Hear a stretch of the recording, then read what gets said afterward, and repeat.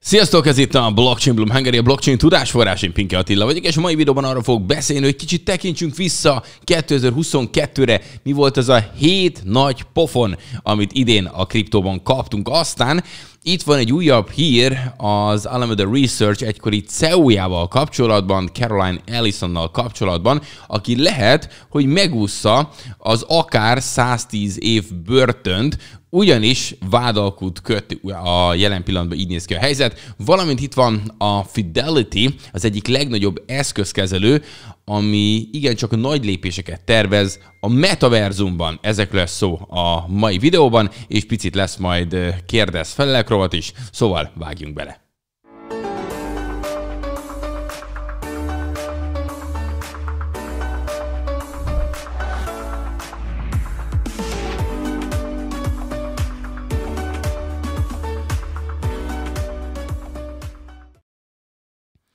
És továbbra is él az ajánlat ezzel a szettel kapcsolatban. Karácsony már igaz, idézőjelben kicsit a múlté, hiszen most már karácsony után vagyunk, de ugyanakkor én úgy gondoltam, hogy mindig járjon hozzá ez a bizonyos 5000 forintos VR Vidám Park kupon, valamint az ajándék TikTok könyv, tehát továbbra is marad az, hogy 25 ezer forint értékben kapsz ajándékot 15 ezer forintért fejébe, és természetesen lényeg a három darab kriptós könyv, a kriptóskönyvek.hu oldalról tudod megrendelni, vagy itt van a link a videó alatt, és akkor ide mész, hogy kriptós könyvek, de itt tudsz egyébként kurzusokat is megnézni, van ingyenes képzés természetesen, van a Patreon csoport, ahol folyamatosan napra készen tartalak benneteket, és még ebben az évben is teszek föl, több videót tervezek, szóval még tudsz ebben a téli szünetes, pihenős időszakban is tanulni, aki megteheti, mert egyébként is kriptótél van, szóval bármikor jól jöhetnek azok a tartalmak, amivel fel lehet készülni a következő bika piacra. Na jó, és akkor most térjünk át arra, hogy hogyan is néz ki a piac jelen pillanatban. Kicsit ránagyítok, és láthatjuk, hogy túl sok minden nem történt a bitcoinnal, de hát ugye nagyjából így is terveztük karácsony körül, semmit nem ment fel az elmúlt 24 órában 0,1 százalék, ugyanígy az Ethereum is, tehát Ethereum 1222 dolláron, Bitcoin 16.877 dolláron jelen pillanatban.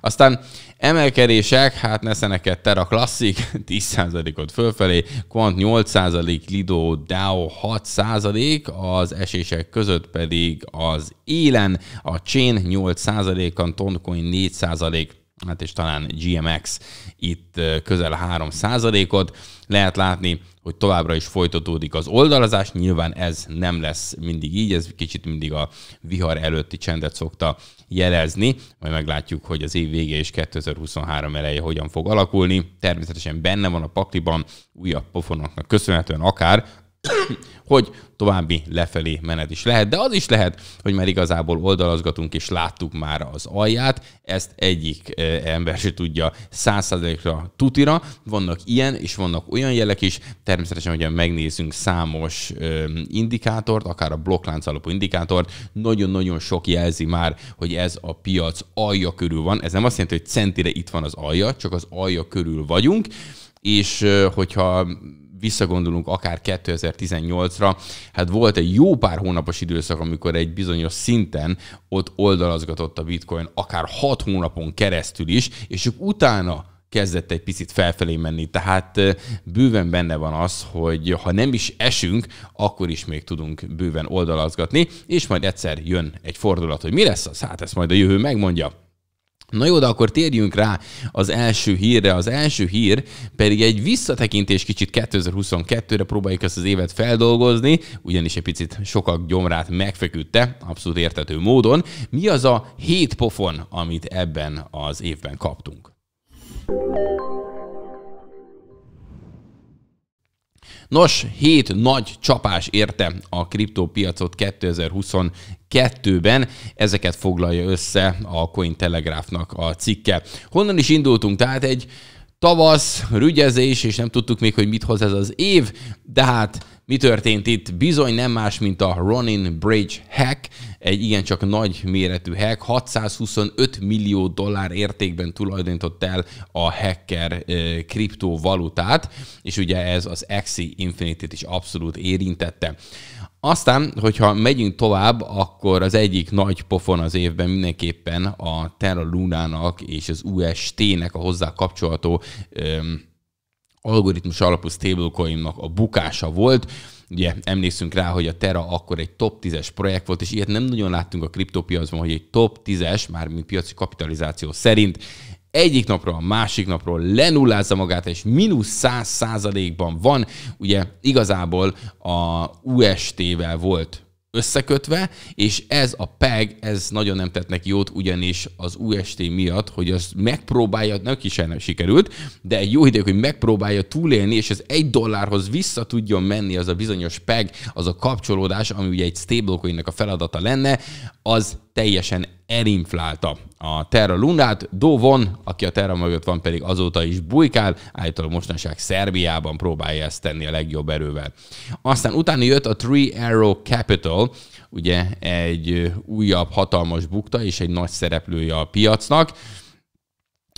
Itt is voltak már azért körbetartozások, tehát azért ezt mutatja. Ezt követte a Voyager Digital, ugye az meg igazából a Terra, mi az a, a, a Three Arrow Capitalból adódott, itt az óriási hitel miatt, ugye, amit már az egyik a másiknak nem tudott visszafizetni. A júliusi hónap a Celsius bedörésétől és likviditási problémájától volt hangos. Ugye itt is visz, leállították a kiutalásokat, és természetesen ők is csődvédelmet kértek.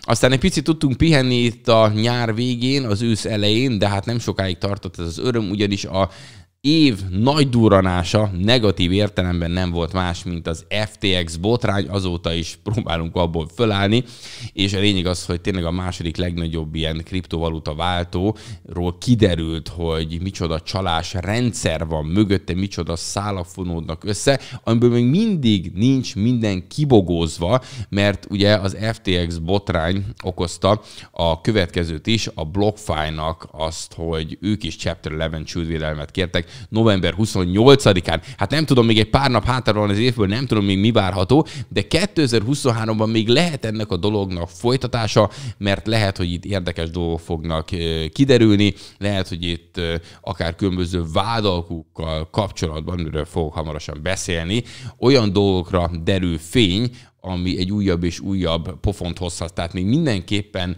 egy kételyekkel teli időszak indulhat 2023 elején is. És ez volt az a hét nagy pofon, amit ebben az évben kaptunk. Talán mondhatjuk azt, hogy a egyik legkeményebb év mindenképpen kriptóban.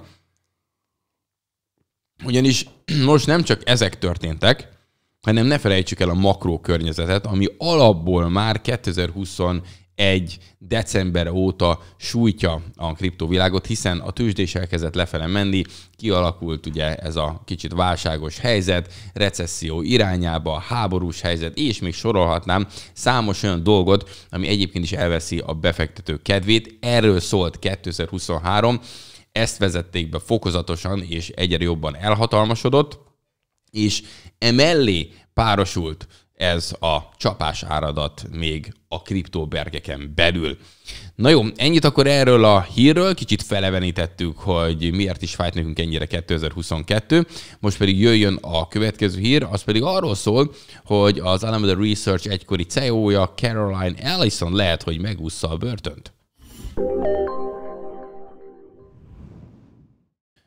Ugye itt az FTX botrány elég érdekes dolgokat hoz, pláne azon szörnyűködnek az emberek, hogy itt vannak a főszereplők, Sam Bankman-Fried, vagy éppen Caroline Ellison, legyen az szó az FTX CEO-járól, vagy éppen ex-CEO, vagy például a, a, a egykori Alameda Research CEO-járól, és itt elkezdenek ezek szabadlábon ö, védekezni, aztán föl akarják őket menteni, legalábbis most itt erről van szó Caroline ügyében. Nézzétek meg, hogy itt a cím is azt írja, hogy akár ezt a bizonyos 110 éves börtönt is megúszhatja ö, vádalkú ö, köszönhetően, sőt 250 ezer dollár fejében, hát ennyi, mindjárt, hogy 250 az megmaradt, csak kár, hogy szemnél az 250 millió volt, ugye, szabadlábon védekezhet, egyedül az Egyesült Államokat nem hagyhatja el, és a hét vádpontban, elég súlyos vádpontok, ezek felmenthetik egy bizonyos vállalkúnak köszönhetően, hát nem tudom, hogyha most itt bemószerolja itt a fél csapatot, vagy pedig ugye nem tudom, megteszik itt szemet a főbűnösnek, majd meg lehet látni, de hogy ő bőven érintett ebbe, csak aztán nem szabad elfelejteni, hogy milyen összekötetéseik vannak, és ez az elszomorító. Ugye tudjuk, hogy még a, amikor Gary Gensler-t is néztük, hogy milyen kapcsolódása van a FTX-hez, akkor például lehet látni, hogy Gary Gensler volt főnök az MIT-nál, egyébként az az ember, aki ennek a hölgynek, Caroline Ellisonnak, az Another Research egykori CEO-jának az édesapja. Na, hát és akkor itt milyen szálak vannak, tehát borzasztó egyébként, ami itt jelen pillanatban ö, zajlik, és ahogy ezt az egészet próbálják eltusolni, és súlyos-súlyos ugye dollár milliárdokkal károsítottak meg befektetőket. Nagyon-nagyon sokan érintettek az ügyben, és talán ez az év ugye legnagyobb botránya. Na jó, tehát jelenleg itt állunk, majd meglátjuk, mi lesz a következő, arról is majd hírt fogok adni, és jöjjön a harmadik hír. A harmadik hír viszont egy jó hír, ugyanis a Fidelity, ami a világ egyik legnagyobb eszközkezelője, nagyon komolyan gondolja, hogy nyit a metaverzumok irányába. Miről is van szó? Már is mondom.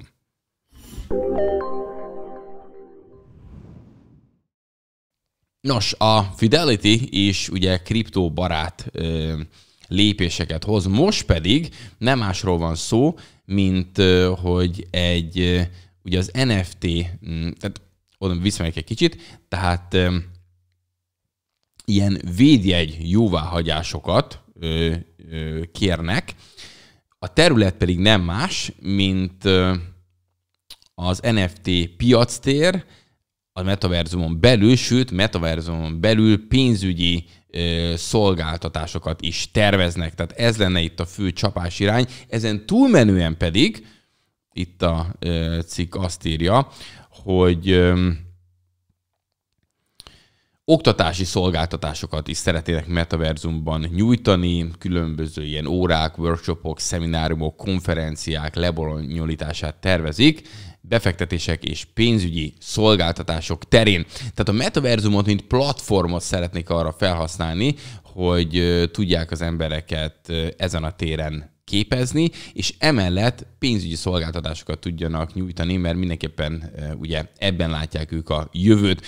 Ugye 2022 nagyon sokak szerint a, azt mondták, hogy majd a metaverzumról fog egy kicsit szólni, és tényleg a metaverzum megcsillogtatta egy kicsit magát, viszont azért azzal tisztában kell lennünk, hogy ez még egy nagyon-nagyon korai időszak, és maga a metaverzum, mint olyan, nagyon gyerekcipőben van. Nézzük csak meg a metát, ugye az egykori Facebooknak a törekvéseit, akik gigászi pénzeket ölnek a metaverzumuk fejlesztésébe, és ez csak viszi, viszi, viszi a Facebooknak, vagy hát a metának a pénzét. Igazából nincsenek eredmények, lehet, hogy még abszolút nem érett meg erre a világ. De hogy ebbe az irányba megyünk, az nagyon valószínű, és pontosan ezért a nagyok, lást Fidelity, és komolyan terveznek, hiszen ezek most még csak azok a benyújtott kérelmek, hogy ők ebbe az irányba tudjanak fejleszteni, komolyan gondolkodni, és majd lépni, hogy teljesen nem maradjanak ki a versenyből, és ott legyenek ezen a területen az elsők között mindenképpen, hogyha ebből lesz valami. Szóval abszolút logikus lépésnek tűnik ez nekem. Na jó, ennyit akkor erről. Gyorsan nézzük meg, hogy mi volt itt a kérdezfelelek rovatban.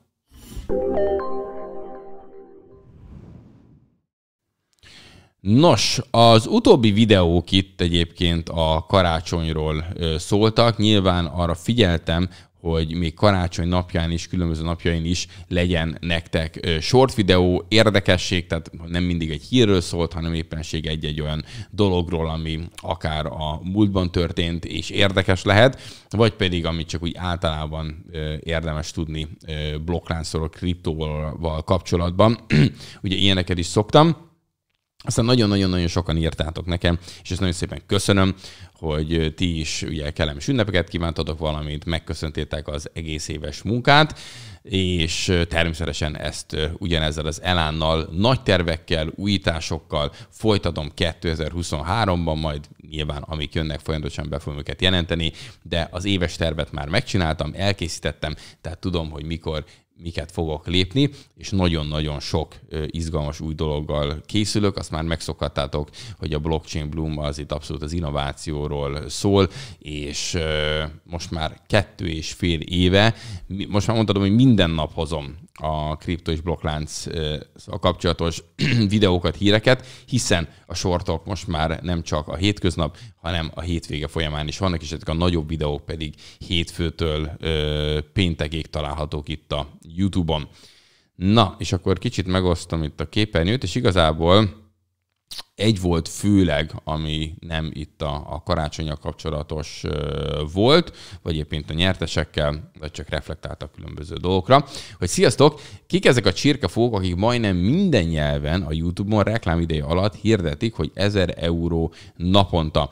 Nos, konkrétan így nem tudom, hogy ők kik, de a lényeg az, hogy, és ez fontos megérteni mindenkinek, aki social media tartalmakat fogyaszt, hogy ez tényleg osztani kell, osztani kell ezeket az információkat, ugyanis nagyon-nagyon-nagyon sok még mindig a csalás, sajnos a YouTube sem tud ezek kapcsolatban semmit csinálni, a Facebookon is folyamatosan problémák vannak, és én úgy gondolom, hogy ezt mindenképpen érdemes többször megemlíteni, és ezért is térek ki rá. Tehát itt figyeljetek a YouTube-on először is azokra, amikor az én nevemben próbálnak kommentelni, és különböző WhatsApp számokat írnak ki, én soha az életemben egy WhatsApp számot nem írtam ki, vagy próbálnak olyanokra rávenni, hogy na, utalj ennyit, mit tudom, bitcoinba, ethereumba, és mindenek a dupláját visszautaljuk, vagy bármilyen uh, tanácsot szeretnének adni uh, kriptó befektetésekkel kapcsolatban, hogy küld a pénzüket, és ők majd forgatják. A blockchain Bloom soha ilyet nem csinál. Valamint ugyanilyen hasonló csalók vannak természetesen Facebookon, a TikTok csatornán is meg lehet őket találni. Mindenképpen folyamatosan írtam őket, akik nem ide valók, azokat tiltom a csatornáról. Ők általában már nem is tudnak visszajönni, csak hát sajnos újabb és újabb accountokat, újabb és újabb számlákat ugye készítenek, és ezzel ismételten ö, próbálkoznak. Szóval értsétek meg, az nagyon fontos, hogy nem szabad bedőlni annak, hogy azt higgyétek, hogy a kriptó gyors meggazdagodásról szól.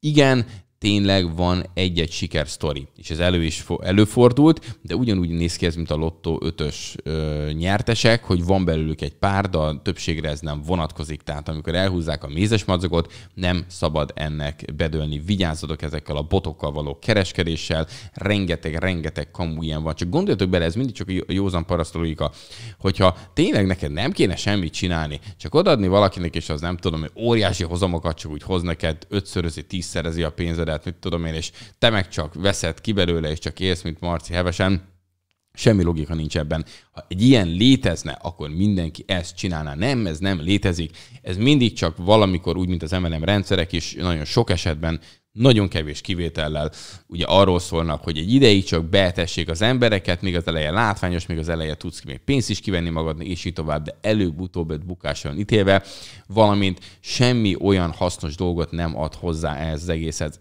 Én úgy vagyok vele, hogy se az időmmel, se a pénzemmel az ilyen jellegű projekteket nem fogom támogatni. Ugyanis nem az a lényege, hogy ezek elszaporodjanak, hanem az lenne a jó, hogy ezek elkorcsosuljanak és eltűnjenek egyszerűen, de sajnos amíg vannak kapzsi emberek, amíg azt hiszik, hogy ezek tényleg tudnak működni, addig ezeket folyamatosan táplálni fogják, már pedig értéket ezek nem ö, adnak, nem közvetítenek sajnos semmit, semmi olyasmire nem adnak megoldást, ez arra van, hogy a tulajdonos meggazdagodjon, és mondjuk a rendszerben még egy-két ember, de aztán a ö, többségre pedig ráhozzák a vizes lepedőt.